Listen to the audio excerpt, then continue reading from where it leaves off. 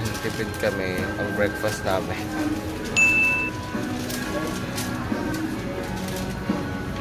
Seven Eleven.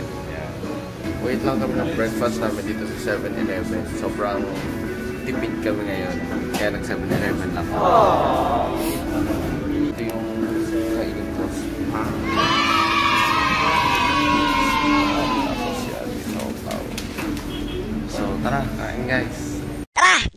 na nga guys. Punta kami ng ah. Eden National Park. Tama ba? Tara, G! Guys, bibili muna kami ng ticket kasi sabi ni Kuya, since holiday today, medyo maraming tao doon sa pupuntahan namin. So, may office sila dito. So, bibili muna kami ng ticket. So, yan. Ito yung office nila. Eden Sales Reservation.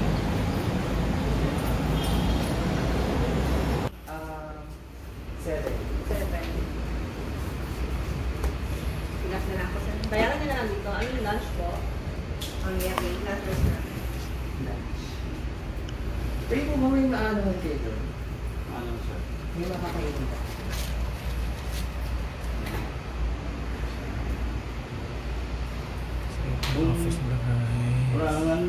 Ah guys, babalik na kami ng sasakyan.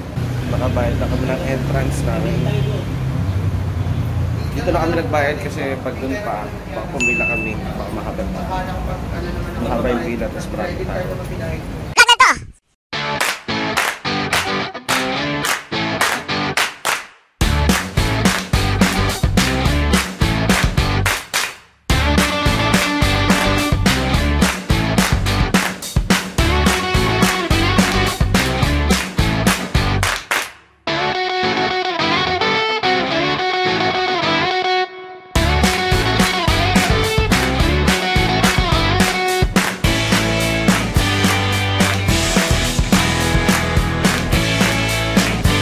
Guys, nandito na kami sa loob ng Eden Nature Park. Ang dami nilang herbs dito. Basil, celery, purple basil, tarragon, chives, peppermint, chocolate, herbs and spices, arugula. Tapos rosemary. Tapos sunflower. So guys, unang pasok yan makikita nyo, I love Eden. I love E Eden cheese. Pagawaan ng Eden. Ah, nature picture. Ito pang picture picture Picture to. ko lang pala to. Tapos, yan. May ano sila dito eh. Ayan. Parang gazebo. Sa gitna, gazebo. 10.20 na ba? No, puro pines. I love pine trees. Then ano na ba? So, Christmas. So, yan guys. Papunta na kami ng bamboo maze. What are you wearing? Ganda niyan. Saan mo nabili yan? Sa Shopee! Sa Shopee! Ginagawa mo! Oh my God. The cabin. Na, na nga. Ah, parang gusto ko sa picture. Ay, yung tao ko pala rin. Mamaya na lang. Nang, tatawag ka. Ito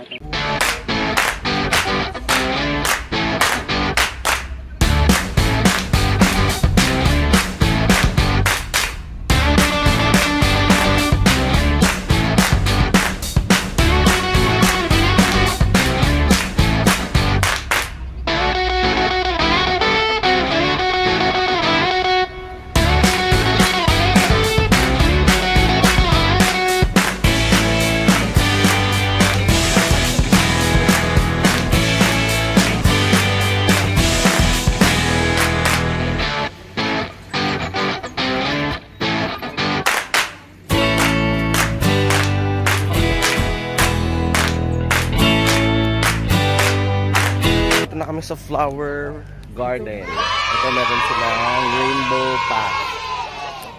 Rainbow path yata tawag dito. Tapos, meron ding Lover's Bell over there. Lover's Bell, ayun. Lover's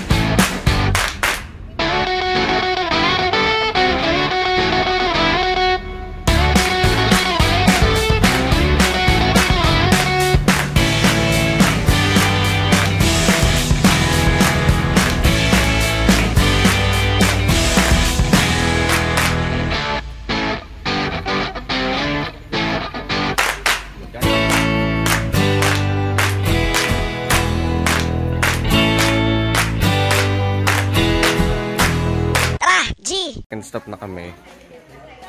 Ito. So, tour ko kayo dito. Ito yung bahay kubo nila. The next one are the different tribes. Ito guys.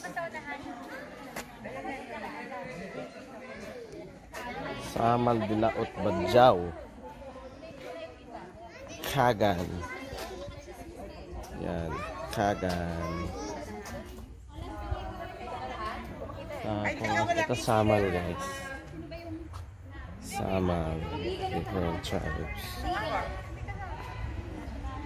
Tapos, Tagakaolo. Tagakaolo. Tagabawa. Tagabawa. Ayan, basta dito guys, may mga different tribes. Kasi mga suotin nila, yung mga costumes. Ayan.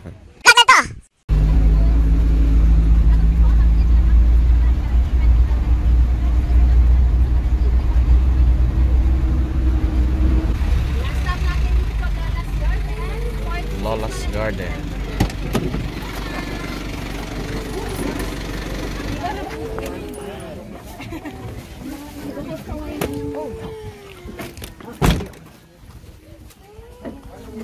So ayan mga kawayan, the bamboos.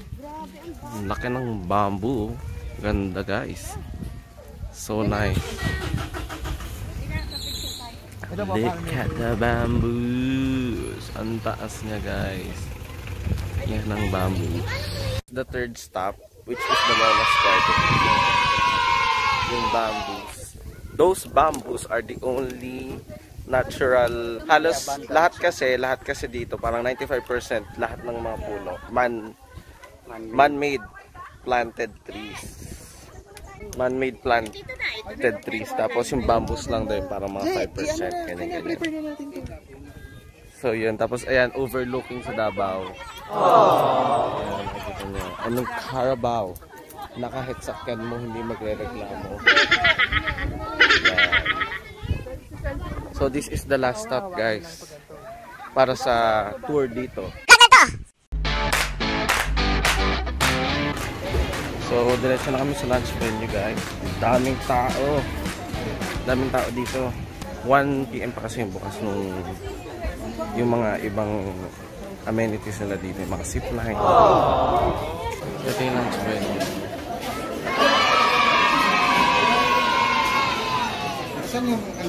Guys, so mag-lunch muna kami eh. Kain tayo guys. Ito takamas. Second round.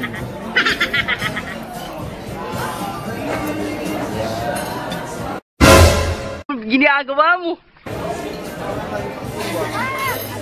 Masarap yung nila.